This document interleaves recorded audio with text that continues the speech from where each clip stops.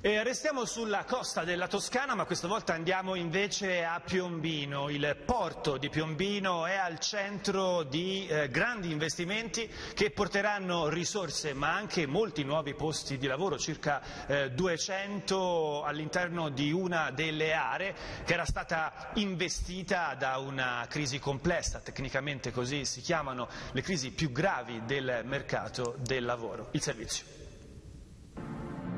Nel giro di poco più di un anno il porto di Piombino ospiterà un polo di eccellenza nazionale dedicato alla demolizione e al refitting e alla realizzazione di navi, l'unico nel Mediterraneo che sarà conforme alle linee dell'Unione Europea.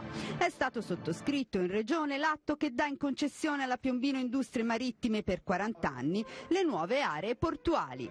Questo progetto darà lavoro a circa 200 persone che troveranno un impiego stabile. Gli investimenti della regione sul porto di Piombino sono stati 190 milioni di euro. La Piombino Industrie Marittime adesso potrà insediarsi nel porto e iniziare la costruzione di capannoni e strutture avviando investimenti quantificabili in circa 14 milioni di euro. A Piombino abbiamo l'obiettivo di creare questo polo delle demolizioni a livello, a livello mediterraneo, insomma, diciamo, seguendo le nuove normative europee, creare questo centro di eccellenza dove sviluppare questa attività, creare questo nuovo mercato. L'obiettivo della Piombino Industrie Marittime, composta dal cantiere genovese San Giorgio del Porto e dalla livornese Fratelli Neri, è quello di iniziare a realizzare le infrastrutture nei primi mesi del 2017 e avviare le attività nella seconda metà del prossimo anno. La nuova infrastruttura partirà con l'attività per lo smaltimento di navi militari, previsto dall'accordo di programma per l'area di crisi industriale complessa.